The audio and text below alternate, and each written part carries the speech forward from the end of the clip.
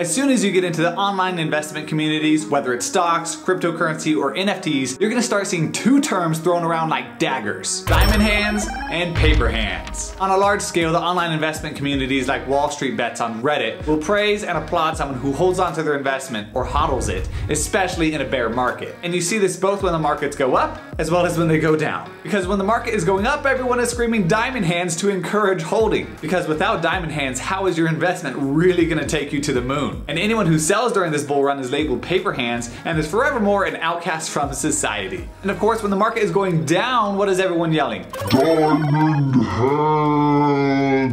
After all, the famous saying from George Patton goes, pressure makes diamond hands and selling makes paper hands. And I wanted to make this video because I have a few issues with whole diamond hands, paper hands mantra that everyone goes on and on about. So let's have a little chat, you and I. Let's discuss and talk about what are the hidden dangers and the things about having diamond hands that no one actually tells you about. I'm Devren Cook. Whether you have diamond hands or paper hands, you're welcome here and welcome back to Dev Money. So for starters, what does this whole diamond hand, paper hand thing mean and where did it even come from? How did it start? Well, the term first started popping up around 2017, 2018 time period, especially on the Wall Street Bets community on Reddit, and it really became popular in 2020 and in 2021. We can take a look on Google Trends and see that the term had a large uptick in 2020 and another massive uptick in 2021. The increase in the diamond hands term in March of 2020 is pretty obvious. From the February 19th high to the March 23rd bottom, the S&P 500 declined 34% in total. On March 16th alone, the Dow Jones Industrial Average dropped 12.9%, the second biggest single day drop in percentage post World War II. The S&P 500 dropped 12% that same day, its third biggest percentage loss, and the Nasdaq dropped 12.3%, its largest single day percentage drop ever. So with the entire stock market plummeting to such an extent that the circuit breakers were triggered to prevent trading multiple times, it's easy to see why the term diamond hands rose in popularity. But in the first part of 2021, we saw the term diamond hands double in popularity even when compared to that uptick in March of 2020.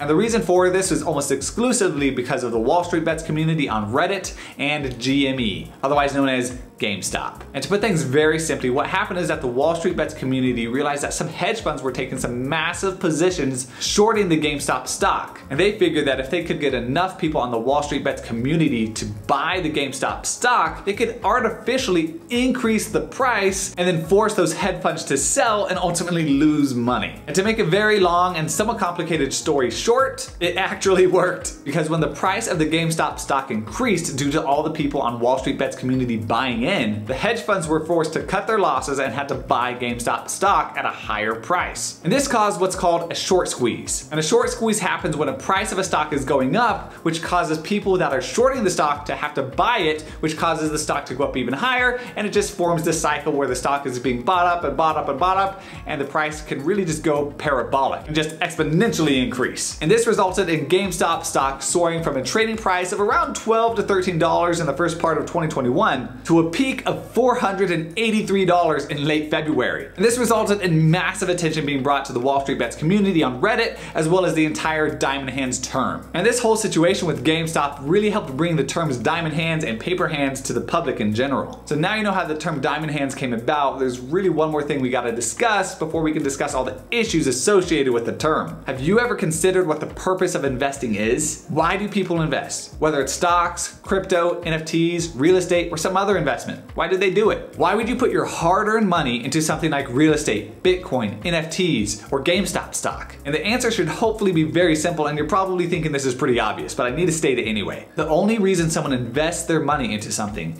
is with the hopes of making more money from that investment. If you listen to most successful people, especially those who have built massive amounts of wealth, they will tell you that one of the secrets to becoming wealthy is by having your money work for you to create more money. And Robert Kiyosaki really emphasizes this by saying that you need to think of every dollar of yours like a little soldier. And he says that if you deploy your soldiers correctly, they will go out into the world and bring back with them more soldiers, thus strengthening your soldier money army. And the definition of investing from Investopedia says that it's the act of allocating resources, usually money, with the expectation of generating an income or profit. And when you think about that definition, you can really see how having diamond hands can probably be pretty beneficial because panic selling due to a market dropping usually results in that investor losing money. Because when the stock market drops or any other investment, you're not necessarily losing money. With the stock market example, you only actually make or lose money when you sell your investment. So if the stock market drops and you sell at a loss, you have cemented your loss. And if you're doing so because you can see the writing on the wall, which is telling you that this company you're invested in is actually gonna go out of business, then you're probably doing the right thing by cutting your losses as soon as possible. But selling strictly because the stock market or whatever your investment is is going down in value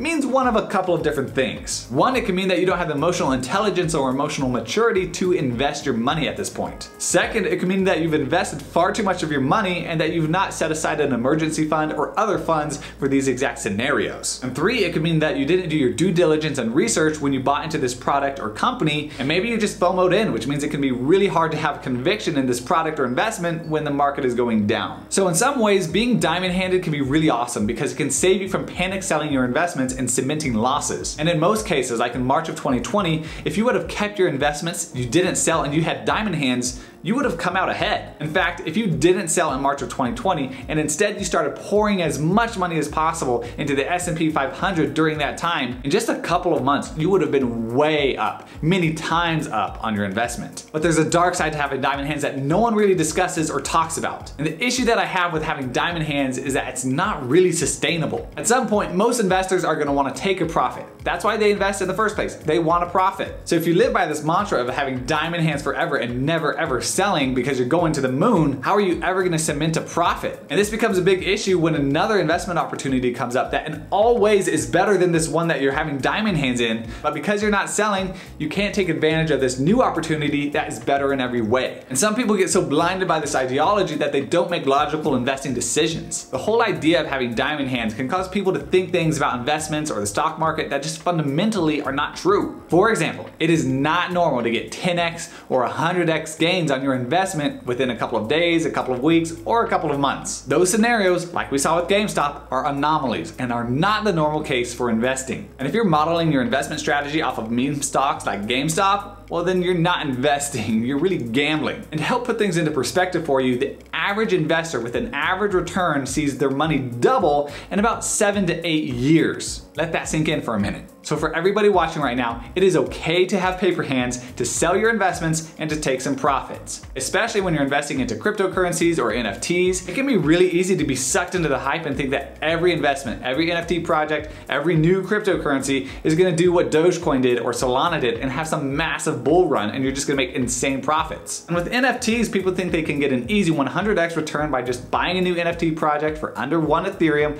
and then selling it for 40 Ethereum or 100 Ethereum like the Bored Apes or like CryptoPunks. So you need to know that not every stock, not every crypto, and not every NFT is going to the moon. In fact, many, and I would say most of them aren't. There are thousands of cryptocurrencies, thousands of stocks, and thousands of NFT projects. And to think that each of them is gonna see returns like you see with Bitcoin, or with the GameStop stock, or with CryptoPunks is just silly. And if you see an investment skyrocket, or moon as it's commonly called, that's really not the ideal time to get in. You can get in and ride that roller coaster up a little bit, but you can also just as easily ride it all the way down. So don't just live by the mantra of having diamond hands and never selling. If you get anything from this video, know that sometimes you need to have paper hands, and that's okay. Diamond hands are great to help you write out an investment that is almost certain to go back up, like the S&P 500. But if you got into GameStop or Dogecoin early on, and you can hardly believe the numbers you're seeing on the screen because you're getting such crazy returns, there is no shame in having paper hands and cashing out at least a portion of your profits. And in fact, I would say that you're the smarter investor for doing so. So thanks for watching, make sure to subscribe, and I'll see you in the next video.